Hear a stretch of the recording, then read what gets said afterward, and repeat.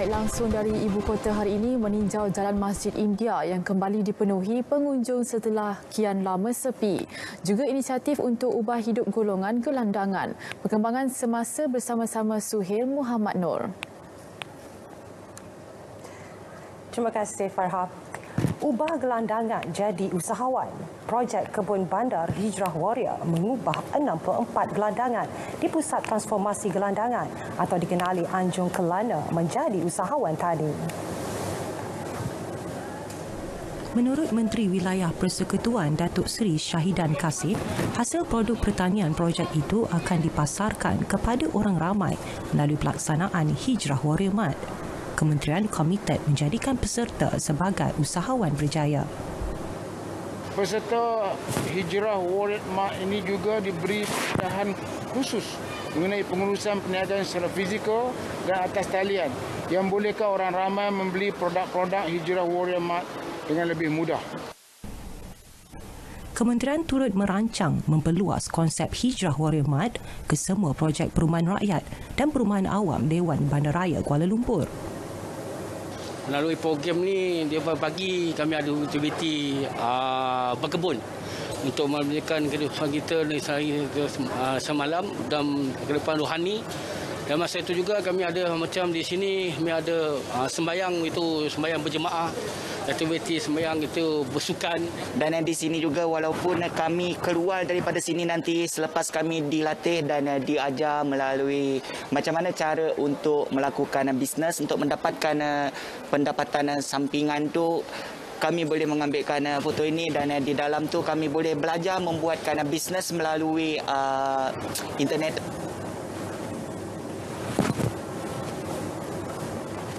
Jalan Masjid India mula meriah dengan aktiviti jual beli sejak Lembah Kelang beralih ke fasa 2 Pelan Pemulihan Negara Jumaat lalu. Peniaga yang terkesan sebelum ini memulakan perniagaan dengan memastikan aspek pematuhan SOP diutamakan. Bagi peniaga Amira Sofia dan Muhammad Ridwan, mereka dapat menarik nafas lega berikutan peningkatan jumlah pelanggan. Susah sebab bisnes pun slow.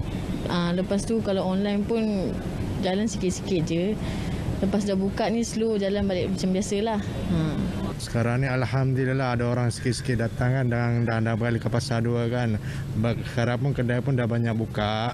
Ha, sekarang pun orang pun dah makin ramai lah ada. Sementara itu, pengerusi Majlis Perwakilan Penduduk Subzon 1 Bukit Bintang, Patrick Leong berkata, pihaknya melakukan pelbagai usaha untuk membantu peniaga serta komuniti yang terjejas di kawasan tersebut. Bagi contoh di Jalan Melayu situ, kan, ada antara kedai lebih kurang 40 lebih kedai tu. Yang semasa dalam fasa pertama tu, yang buka kedai pun tak sampai pun 10 kedai yang dibuka walaupun mereka buka kedai pun dalam sehari pun tak ada satu barang dijual. Begitu susah. Kami pun ada berancang dengan Dewan Bandaraya pihak Bandaraya untuk supaya membenarkan mereka uh, berniaga. Macam pada hari uh, hari bulan Ramadan tu kita buka pun ada. Beliau menyatakannya selepas menyampaikan bantuan dalam program Sepakat at Community di Ibu Negara.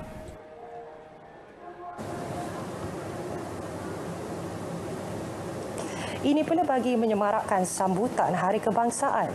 Jabatan Penerangan Japan Wilayah Persekutuan Kuala Lumpur memilih Masjid Al-Qurtubi Segambut bagi menerima 40 jalur gembilang. Program Merdeka at Community ini bertujuan menyemai patriotisme dalam kalangan masyarakat setempat. Seterusnya membantu jabatan menjayakan kempen kibar jalur gembilang. Penolong pengarahnya Maria C. Nawi berkata, program Merdeka at Community merupakan acara tahunan dengan pelbagai pengisian melibatkan masyarakat setempat.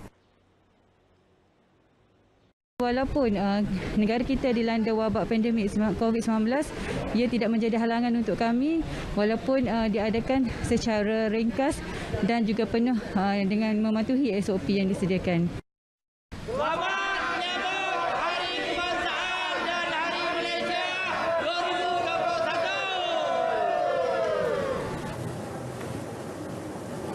Dalam perkembangan lain, Japan Kuala Lumpur menyantuni golongan terjejas COVID-19 menerusi program pemberian jalur gemilang dan sumbangan bakul makanan kepada penduduk di ibu negara. Penolong pengarahnya, Tengku Nurliza Tengku Yahya berkata, program bersabar komuniti ini bertujuan menyampaikan dasar kerajaan di samping mengeratkan hubungan dan menambah rakan strategik dengan komuniti.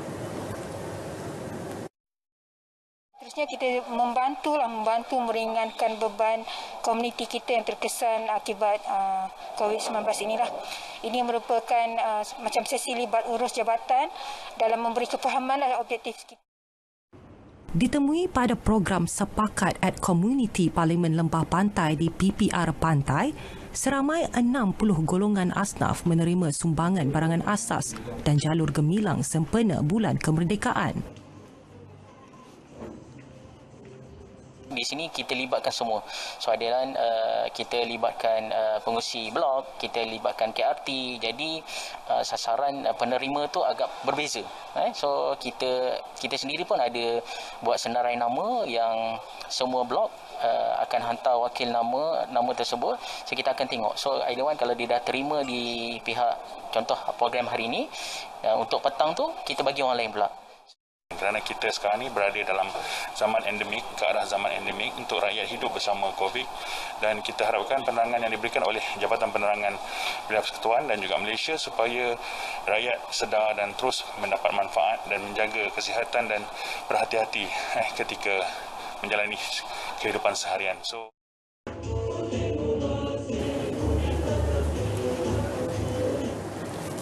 Sekian saja berita Kuala Lumpur hari ini. Kita kembali kepada rakan setugas saya, Farha di Angkasa Puri.